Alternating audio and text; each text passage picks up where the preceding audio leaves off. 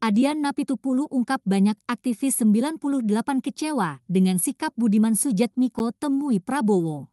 Politikus PDIP Adian Napitupulu mengungkapkan, banyak aktivis 98 yang kecewa dengan sikap Budiman Sujatmiko menemui Ketum Gerindra Prabowo Subianto beberapa waktu lalu.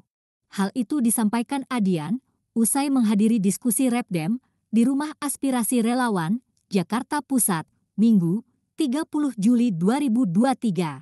Banyak yang menolak banyak yang kecewa tetapi saya enggak mau pikirin itu, kata Adian. Adian enggan menanggapi lebih jauh mengenai sikap Budiman menemui Prabowo.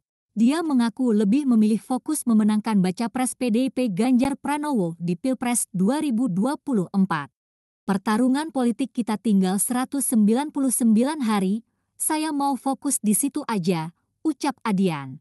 Sebelumnya, Ketua DPP PDIP Bidang Kehormatan Komarudin Watubun menyebut pihaknya tak menjatuhi hukuman maupun sanksi kepada politisi PDIP Budiman Sujatmiko.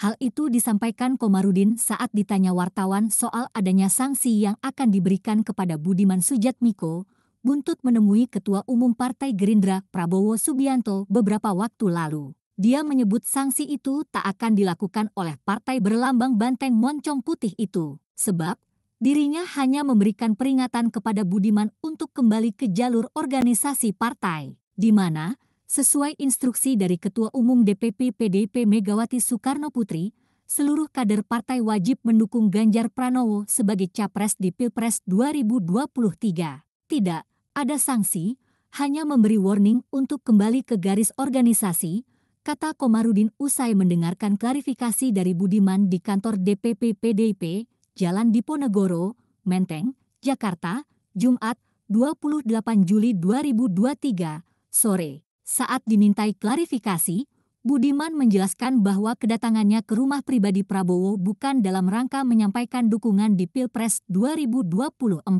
Menurut Komarudin, Budiman mengungkapkan bahwa niatnya hanya ingin melakukan konsolidasi terhadap dua sosok capres yang saat ini akan maju sebagai presiden. Karena, kata Komarudin, Budiman melihat sosok baca pres dari PDP Ganjar Pranowo merupakan tokoh yang mewakili capres dari generasi reformasi. Sedangkan, baca pres dari Gerindra, Prabowo Subianto sebagai sosok capres dari generasi Orde Baru. Tadi saya panggil beliau, beliau menjelaskan ya niatnya dia bukan untuk dukung Pak Prabowo. Sebenarnya dia ingin supaya ada konsolidasi calon yang dianggap sebagai calon reformasi.